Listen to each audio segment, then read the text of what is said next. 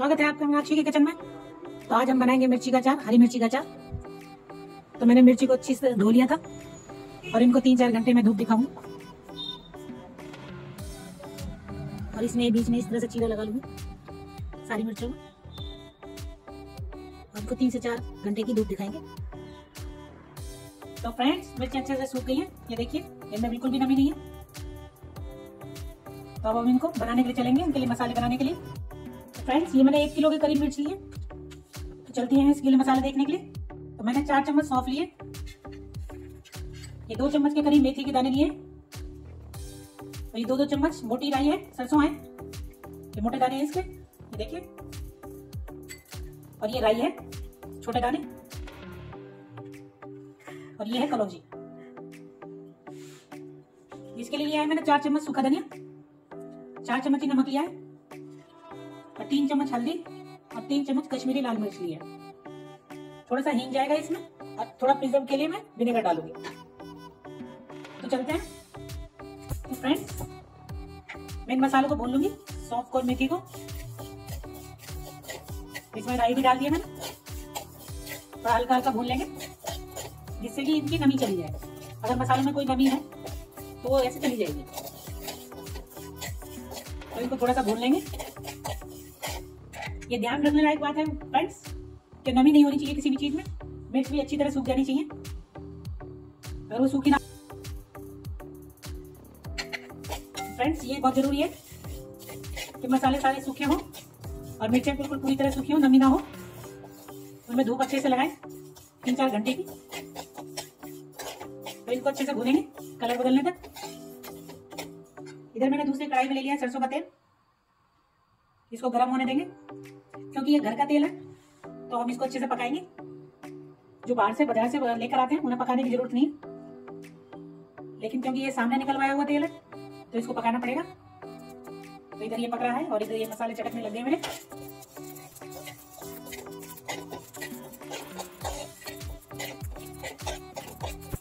ये कलौजी है फ्रेंड्स, इसको नहीं भूनेंगे, नहीं तो अचार कड़वा हो जाएगा।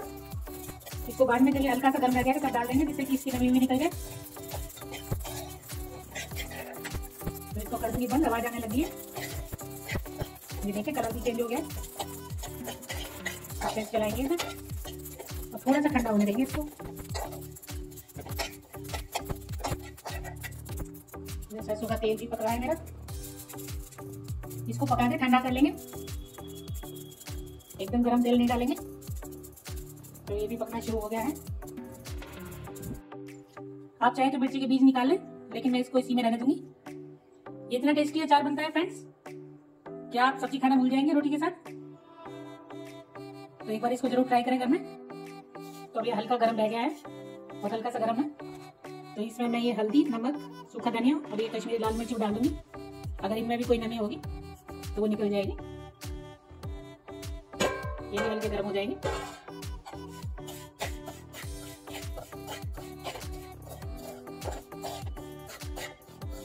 इनको भी ऐसे मिक्स कर लेंगे। कितना अच्छा कलर आ रहा है फ्रेंड्स और मसालों में से खुशबू तो बहुत ही अच्छी आ रही है। अच्छे से मिक्स कर लेंगे सबको। कलौंजी मैं इसमें भी नहीं डालूँगी, बाद में डालूँगी, क्योंकि ये सारे मसाले पीसेंगे और कलौंजी पीसती नहीं है। पीसने पर कड़वी हो जाएगी कलौंजी।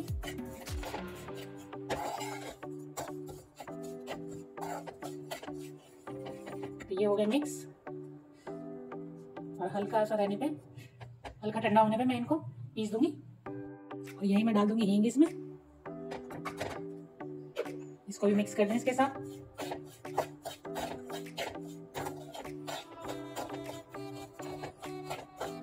चलते हैं इसको पीसने के लिए। इसको थोड़ा दरदरा ही पीसेंगे, एकदम बारीक नहीं पीसेंगे।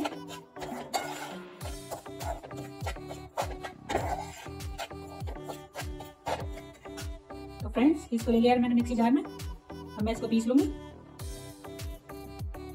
मेरा ये बर्तन अभी थोड़ा गर्म है तो मैं कलौजी को भी इसमें ऐसे भून लेंगी। इसमें डाल दिया है। इसकी जो नमी होगी वो निकल जाएगी। तो देखिए फ्रेंड्स मसाले पीस गए हैं। अब मैं इनको डाल दूँगी एक परात में। कोई भी बड़ा बर्तन ले लें।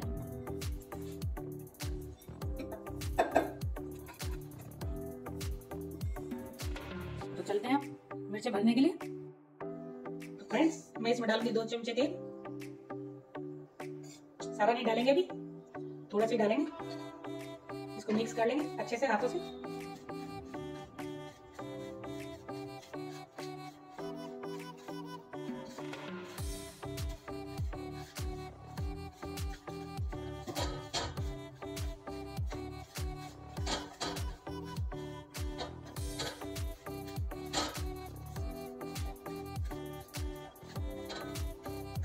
ये देखिए ये बिल्कुल सूखा नहीं रहा। अभी अच्छे से भरा जाएगा मिर्चों में। निकलेगा नहीं। अब यही इसी टाइम में डालूँगी दो ढक्कन सिरका, जिसको प्रिजर्व करने के लिए होता है, और हल्की खटास के लिए।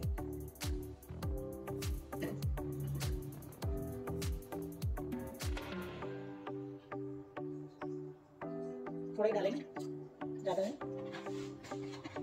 इसको भी मिक्स कर लेंगे।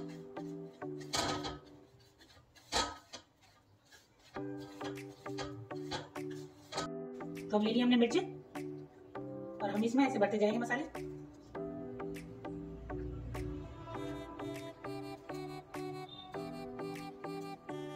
मैं सारी मिर्ची ऐसे बढ़ लूँगी।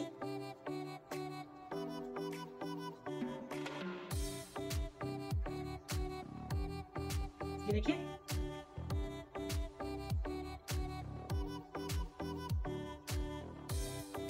नीचे तक भरे अच्छे से। तो मैं ऐसे सारी मिर्ची भर लूँगी। तो देखिए फ्रेंड्स मैंने सारी मिर्ची भर दी सबको अच्छे से भर दिया है, अच्छे से मसाले से। और मसाला बच भी गया ये। तो चलते हैं इसको। ये तेल है, जो मैंने गर्म किया था। अभी ठंडा हो गया है। तो हम इसको एक एक मिर्च को इसमें लगाते जाएँगे, तेल में। और इसको जार में, मैंने कांच का जार ले लिया ही। तो इसमें डालती जाऊँगी। आपके पास कोई भी जार हो, प्लास्टिक का हो या चीनी मिट्टी का हो, कांच का हो, कोई भी हो, आप उसमें डाल दें, इस तरह भिगोती रहूँगी तेल में।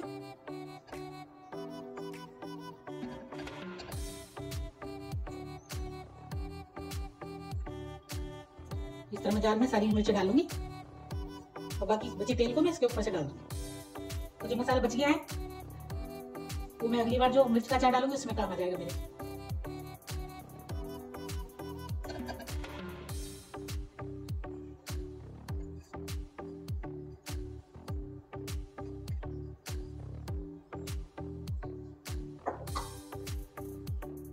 देखिए फ्रेंड्स मैंने इस जार में डाल लिया है और बाकी जो सरसों का तेल बचा है, वो भी मैं इसमें डाल लूँगी बल्कि इतनी सारी मिर्च थी कि मेरे को दूसरे डब्बे में भी डालना पड़ा। तो थोड़ा तेल मैं उसमें डालूँगी और थोड़ा इसमें डाल दूँगी। ज़्यादा तेल की ज़रूरत नहीं है फ्रेंड्स इसे बस इतना ही रहने दूँगी मैं। लेकिन अगर अचार खराब होने लगे तो उसके लिए ज़रूरी है कि आप इसको ऊपर तक भर दें। फिर वो अचार खराब नहीं होगा। चार से तीन से चार साल रख लेकिन उसके लिए आपको जो खाने का अचार है, वो अलग से निकालना पड़ेगा। ऐसा ना हो कि उसी में से अचार निकालें और खाएँ। तो अगर आपको तीन से चार साल रखना है अचार तो उसका बड़ा बर्तन अलग से बनाएँ और खाने वाले अचार का बर्तन अलग से बनाएँ। तो ठीक है फ्रेंड्स ये देखिए बहुत बढ़िया अचार बन गया है और इसको तीन दिन की धूप ज़रूर दिखाएँ। इसको तीन दिन की धूप दिखानी बहुत ज़रूरी है। और मैं इसका कर दूँगी ढक्कन बंद। और इसको मैं कल से धूप दिखाऊँगी सुबह धूप में रख दें। और शाम को उठा लें। तीन चार दिन ये ज़रूर करें। एक डब्बा ये है। तो इतना सारा चार बन गया ये। ये मोटी मिर्चों का चार अगर आपको पतली मिर्चों का चार डालना तो वो भी इसी तरह से पड़ेगा। आप उसे भी इसी तरह से डालें। तो फ्रेंड्स अगर आपको मेरी रेसिपी अच्छी लगती हो तो प्लीज़ मेरे चैनल को लाइक कीजिए कमेंट कीजिए शेयर कीजिए सब्सक्राइब कीजिए। Thank you